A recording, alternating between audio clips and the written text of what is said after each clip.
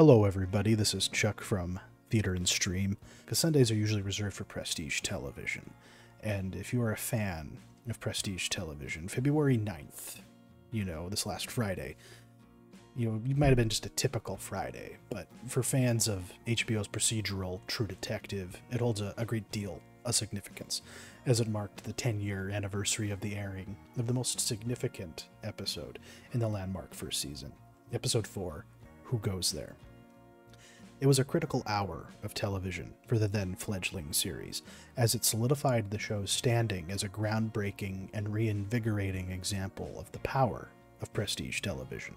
It advanced the main character's quest to root out the brutal killer responsible for the ritualistic murder introduced in the pilot, opened doors to possibilities too dark for light to touch, and escalated the stakes thanks in part to its final act showcasing Rust's infiltration of a biker gang with a jaw dropping one shot sequence that, to this day, still hasn't been matched. Who Goes There was the hour that elevated True Detective's esteem, not only amongst critics, but also with a loyal and inquisitive audience caught up not only in the mystery of the show, but also in the various writers and inspirations showrunner and creator Nic Pizzolatto cribbed from to form the enigmatic mythology behind the murders central to its narrative, as well as the memorable monologues of Matthew McConaughey's Rust Cole. Watching the show itself was only a part of the larger experience of being an enjoyer of True Detective, as a great deal of the enjoyment came from dissecting and digging into the show, its use of symbolism, and its embrace of ambiguity. There was a large contingent on the show's subreddit who believed completely that Rust himself was the killer, for example, amongst many other improbable theories that were quickly disabused as the show progressed to its finale. And while that finale may have left some fans wanting due to Pizzolatto leaving the larger implications of its revelations unexplored and shrouded in mystery, that just underlined the point behind the series the often fruitless struggle to hold back the blackness within humanity, even if you were a little peeved that the Tuttle clan itself seemingly skated from any public justice and retribution, one could still know that the whole experience was worth it, and that Pizzolatto and director Cary Joji Fukunaga and company had the story, characters, and other elements like atmosphere and tone completely within their grasp. Of course, the next seasons would fail to truly hit the ceiling that the first season and Who Goes There set for the show. However, recent events have caused many within the fandom to return to the generally hated second season and reappraise it on its own merits. The LA setting may have lost the careful guiding hand of Fukunaga, but Pizzolatto still delivered on a Chinatown style government corruption noir that had a fitting conclusion and utterly tragic fates for its protagonists. The third season, of course, was seen as a return to form for most of the fandom, and critics as Pizzolatto and the dream team of directors and consultants like Jeremy Saulnier and the great David Milch crafted yet another kind of detective story, this time about missing children. The lead performances by Mahershala Ali and Stephen Dorff, while not as meme-worthy as Rust and Marty, hold their own as richly rewarding performances with a great deal of depth. So, what exactly defines a season of True Detective? Protagonists with baggage that were often hard to like, alluring mysteries blanketed by grim darkness, but a clear appreciation for policing, detective work, as well as the vagaries that often go hand in hand with them. In True Detective, the people seeking the truth are often proven to be just as enigmatic as the mysteries they are investigating, imbued with a complexity one doesn't often see in procedural murder shows. After all that, we come to the frigid elephant in the room because February 9th, 2024 marked the early release of the latest episode of True Detective's rebooted fourth season, created by Mexican filmmaker Issa Lopez. The unimaginative, predictable, incomprehensible, and frankly offensive Night Country.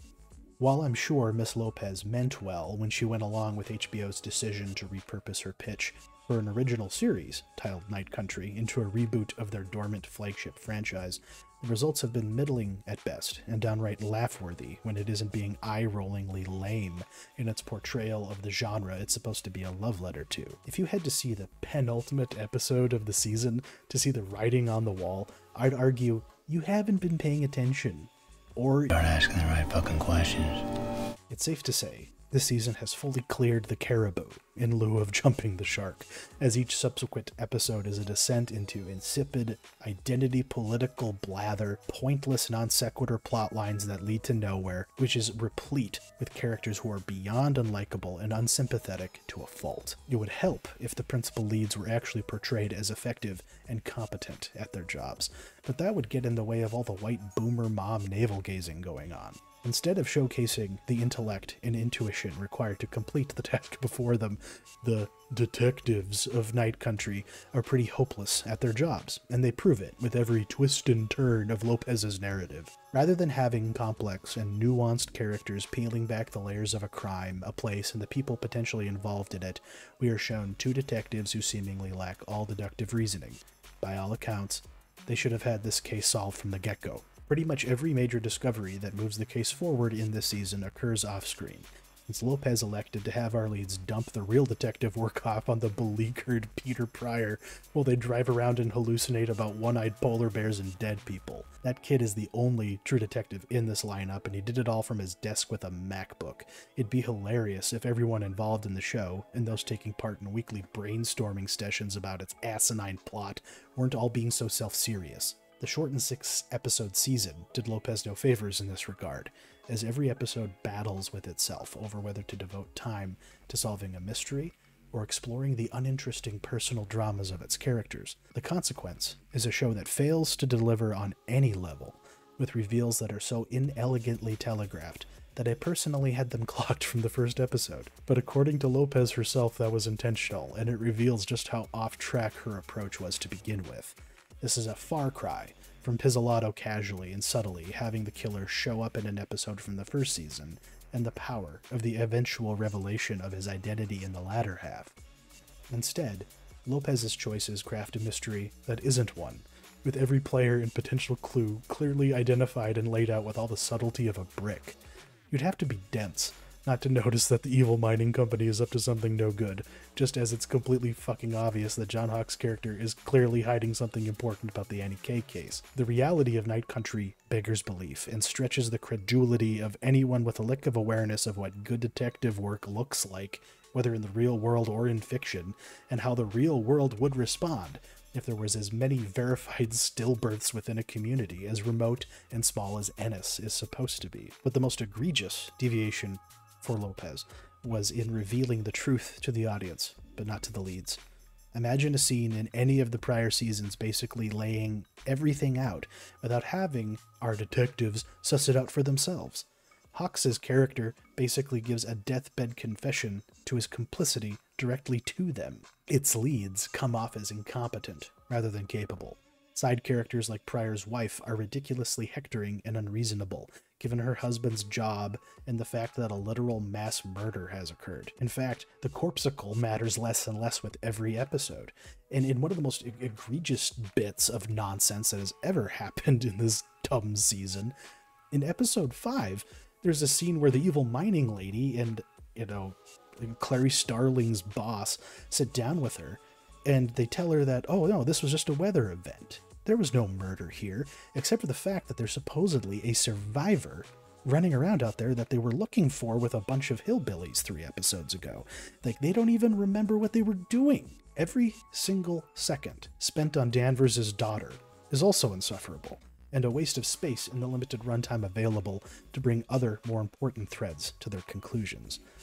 The constant needle drops of downshifted pop tunes were frustrating at the outset, but have proven to be quite infuriating and grating for me as the season progressed. Whoever the music supervisor on this show is needs to chill the fuck out. I miss T Bone Burnett so much right now. The only joy to be found for myself and many others is in hate watching the show, which has only helped its ratings. But the attitude and response from Lopez and the cast regarding the negative reaction to their efforts hasn't helped the medicine go down. They've elected to follow the same program that Hollywood runs through whenever one of their reboot attempts is rebuffed for failing to live up to the promise of whatever source material they've chosen to wear as a skin suit. You'd think they'd learn that the Ghostbusters 2016 playbook of denigrating everything that came before and discounting any criticism as unfair and unfounded doesn't do anything to engender goodwill and amity from the people who supposedly are the audience for it. Lopez has responded by invoking every tired stereotype about the haters of her show and claimed in particular that the noise is just loser fanboys of season one standing in the way of the acclaim she believes her show deserves. It's hard to reconcile that stance with the myriad of lame and unnecessary Easter eggs and lore breaking inclusions inserted into her project to graft connective tissue between her misbegotten creation and that very season. That could explain Pizzolatto's open bitterness and contempt for Night Country, and Lopez should be so shocked by how her inelegant and misguided appropriation of those elements has been received. From the spiral showing up literally at every opportunity, to even the lame explanation for what it means within the season of the show, when before it was just mysterious and vague and could be anything, to the Tuttle's upgrade from backwater occult political machine to a multinational corporation with tenuous ties to the evil mine, you almost forget that the inciting event and supposed central mystery of the season is a group of scientists who inexplicably were frozen into a rat king. And like I mentioned before, the rat king is just a footnote in the story, and it doesn't matter. Nothing matters, and it shows. The ones paying for it are the fans. Not only those who have had the season pegged from the beginning, but especially those misguided fools who have deluded themselves into thinking there's something to get out of it. It's hard to gauge whether it's cope delusion or simply a tolerance for mediocrity, but it is shocking how many people online are seemingly swept up in all this nonsense. There is nothing that is challenging about Night Country, except, of course, finding some way to make it through an entire episode without chucking your remote through your TV. So that begs the question who is this show for? It's for your mom. It's a lesser version of a modern subgenre, the Arctic set procedural murder show, from Fortitude to The Head to even the recent A Murder at the End of the World, this kind of thing is well trodden ground, and Lopez delivers nothing we haven't seen before and seen done better by other people.